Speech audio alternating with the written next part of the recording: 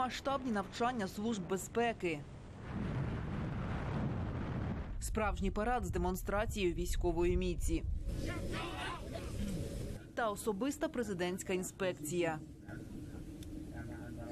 Райський куточок Індонезії Балі готується прийняти саміт Великої двадцятки.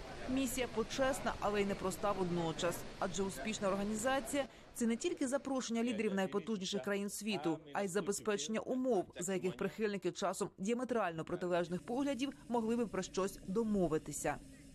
Станом на сьогодні 17 лідерів держав і урядів підтвердили свою присутність. За нормальної ситуації саміт G20 зазвичай відвідували 17-18 лідерів. Але зараз світ і багато країн у скруті. Тому, якщо ми матимемо таку саму кількість учасників, це дуже й дуже добре.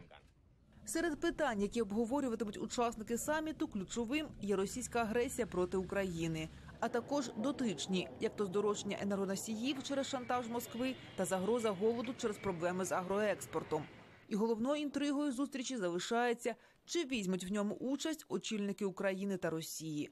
Володимир Зеленський, хоч наша держава і не входить до G20, на саміт запрошений, однак висунув свої умови.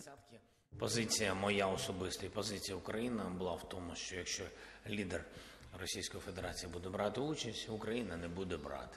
Напередодні на банкові підтвердили, Зеленський має намір виступити на саміті віртуально. А от чи прийде на балі Путін? Найімовірніше ні, адже господар Кремля розуміє, через напад на Україну ніхто з західних лідерів з ним не розмовлятиме ані на загальному зібранні, ані на двосторонніх зустрічах.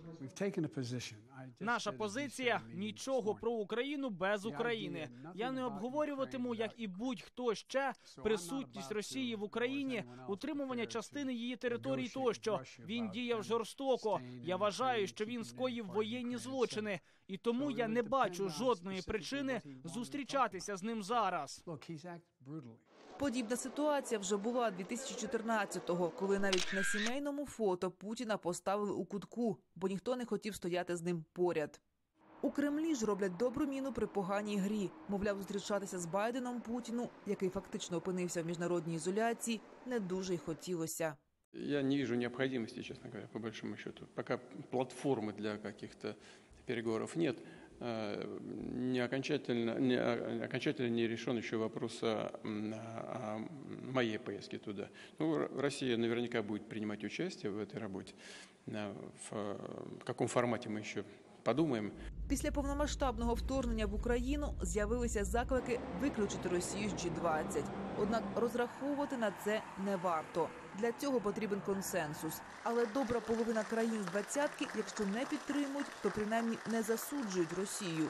Китай публічно заявив, що за це не голосуватиме. А Індонезія довго опиралася навіть запрошенню Зеленського.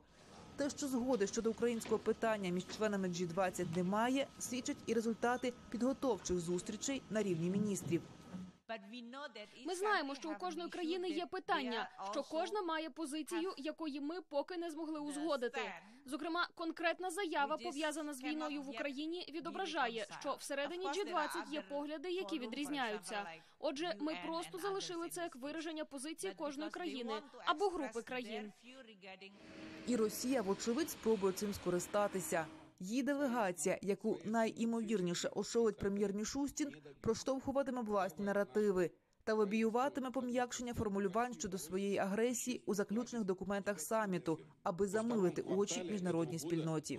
Та Україна на цій зустрічі теж має потужних союзників. Зокрема, під час візиту минулого тижня до Києва радник президента США з безпеки Джейк Саліван запевнив, наша держава на саміті G20 не залишиться без підтримки.